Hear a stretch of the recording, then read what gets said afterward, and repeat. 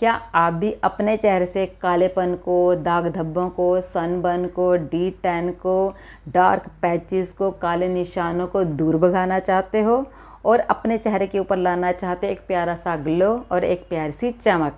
तो इस face pack को ज़रूर ट्राई कीजिए। ये फेस पैक आपके चेहरे के दाग धब्बों को लाइट करके आपकी स्किन को ब्राइट बनाएगा। आपकी स्किन को एक टोन में कर देगा। पैचिस से बन जाते हैं ना स्किन के ऊपर वो ठीक करके आपकी स्किन को एक सार करेगा और आपको आपका मनपसंद रिज़ल्ट अचीव करने में आपकी बहुत हेल्प करेगा। हाय एवरीवन आपका आपके अपने channel beauty with nature by Sunita Saini में बहुत बहुत स्वागत है। कैसे हो आप सब लोग? आई होप आप सब लोग खुश होंगे। तो इस फेस पैक को हम कैसे बनाएँगे, कैसे लगाएँगे, हफ़्ते में कितनी बार लगाएँगे, कितनी देर लगा कर रखेंगे, इसके बारे में बात कर लेते हैं हम अपनी वीडियो में।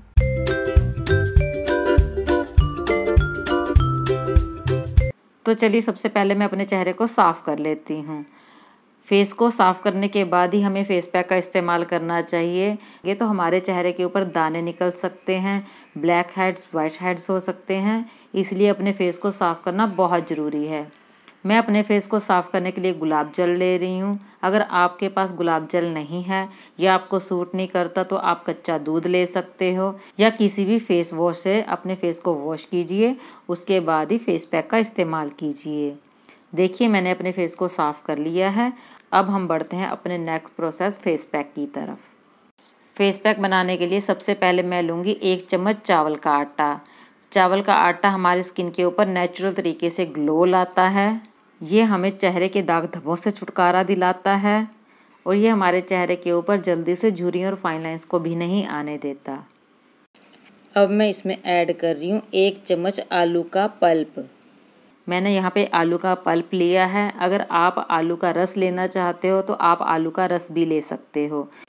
आलू का रस हमारे स्किन को ग्लोइंग बनाता है। चेहरे के कालेपन को हटाने के लिए बहुत ही अच्छा होता है।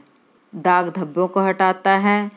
इसके रेगुलर इस्तेमाल से हमारी स्किन टोन एक सार हो जाती है। अब मैं इसमें ऐड करूँगी एक चम्मच टमाटर का पल्प। टमाटर का पल्प सनबर्न से बचाएगा। अगर सनबर्न हो गया है तो उसको ठीक करने में हेल्प करेगा। हमारे चेहरे से डेड स्किन को निकाल देता है। ये हमारे ओपन पोर्स को श्रिंक करता है, जिससे हमारी स्किन चिकनी बनती है। और इसके साथ साथ ये एजिंग के प्रोसेस को भी स्लो करता है। अब मैं इसमें ऐड करूँगी चार से पाँच बूंदे कोकोनट ऑयल की। ये ऑप्शनल है। अगर आपकी स्किन ऑयली है तो आप कोकोनट ऑयल को स्किप कर दें। लेकिन अगर आपकी स्किन ड्राई है तो कोकोनट ऑयल को ज़रूर डालें। ये आपकी स्किन को बहुत ही ज़्यादा सॉफ्ट और मुलायम बना देगा। ये एंटी एजिंग से भरपूर है। ये हमारे चेहरे के दाग धब्बों को लाइट करके हमारे स्किन के अंदर ब्राइटनेस लाता है। मैं पहले इन तीनों इंग्रेडिएंट को मिक्स करूँगी और अब मैं इसमें ऐड करूँगी थोड़ा सा गुलाब जल और इसको अच्छे तरीके से मिक्स करके अपने पूरे चेहरे और गर्दन के ऊपर लगा लेंगे। इस फेस पैक के रेगुलर इस्तेमाल करने से ये हमारे चेहरे के कालेपन को दूर भगाएगा। अगर चेहरे के ऊपर सनबर्न हो गया है तो उसको ठीक करेगा। और ये फेस पैक हमारे चेहरे की रंगत को निखारने के साथ साथ स्किन के ऊपर अगर झुरियाँ आ गई हैं तो उसको दूर करेगा। चेहरे के ऊपर मुहासे हो रहे हैं ब्लैक हेड्स हो रहे हैं तो ये फेस पैक हमें उससे भी छुटकारा दिलाएगा। इसके इस्तेमाल से हमारी स्किन हमेशा ही ग्लो करती रहेगी, हमेशा ही चमकती रहेगी। अगर आपकी आँखों के नीचे डार्क सर्कल है आप इस फेस पैक को रेगुलर लगाओगे तो आप नोट करोगे कि आपके डार्क सर्कल ख़त्म होने लग गए हैं। पहले ये लाइट होंगे धीरे धीरे ये ख़त्म हो जाएँगे। आप इस फेस पैक को लगाइए, लेकिन इसके साथ साथ एक काम और भी कीजिए। आप अपने चेहरे को सादे पानी से दिन में चार से पाँच बार ज़रूर धोएँ। बस आपने फेस वॉश का इस्तेमाल नहीं करना, आपने इस बात का खास ख्याल रखना है। अगर आप अपने चेहरे को धोते समय बार बार फेस वॉश का इस्तेमाल करोगे तो ये फेस वॉश आपकी स्किन से नेचुरल ऑयल को निकाल देगा और आपकी स्किन को ड्राई बना देगा, जिससे आपकी स्किन डल लगने लग जाएगी और आपके चेहरे के ऊपर बहुत ही जल्दी से रिंकल्स और फाइन लाइन्स आने लग जाएँगी और आपकी स्किन बहुत ही जल्दी बूढ़ी दिखाई देने लग जाएगी।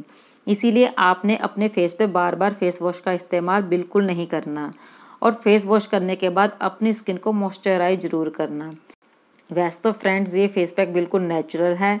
लेकिन फिर भी अगर आपको इसमें से कोई इंग्रेडिएंट सूट नहीं करता तो उसको स्किप कर दें या पैच टेस्ट करके देखें, उसके बाद ही इस फेस पैक का इस्तेमाल करें।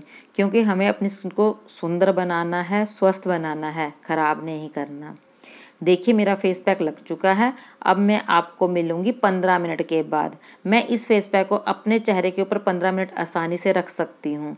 क्योंकि मैंने इसमें टमाटर के पल्प का इस्तेमाल किया है आलू के पल्प का इस्तेमाल किया है, जो मेरे इस फेस पैक को ड्राई नहीं होने देगा और मेरी स्किन को किसी भी तरह का कोई नुकसान नहीं होगा।